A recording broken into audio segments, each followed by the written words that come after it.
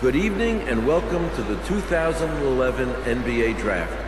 For the young men waiting to hear their names called this evening, this moment marks the realization of a lifelong dream. For the fans here and at home who enjoyed this past season and tonight get a glimpse at tomorrow's stars, I thank you for joining us.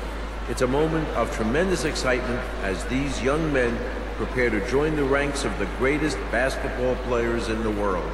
So without further ado, let's get started. With the 14th pick in the 2011 NBA Draft, the Houston Rockets select Sean Richardson from Tulane oh, University. Oh man, all right. Yeah, that's a relief. I think I want to be on the 15th Knicks. pick in the 2011 NBA Oh, boy. Draft, the Indiana Don't Pacers take me. select Lee McDaniel from the University of. Oregon. Come on, Knicks.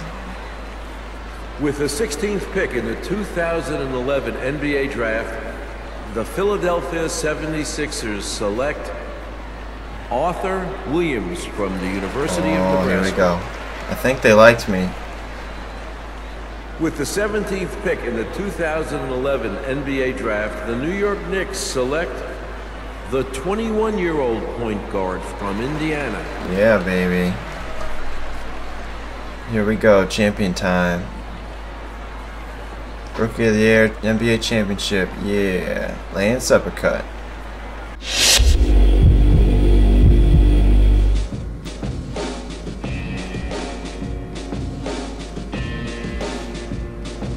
Yeah, I need to make more money.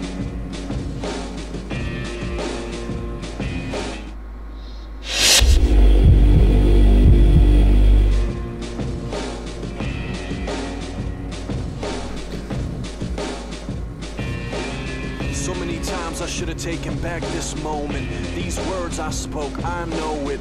Now I can see clearly. I folded, I shouldered too Everything has a beginning, baby. Too much pain, and it destroyed me, and then rebuilt me, and now it can feel me. It follows me everywhere I go, but it can never break me now.